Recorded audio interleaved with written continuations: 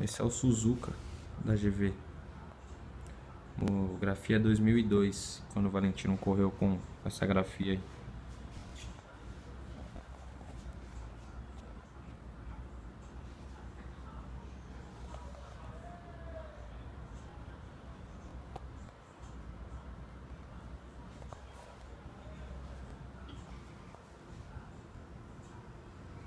Muito bacana esse capacete. Forração por dentro.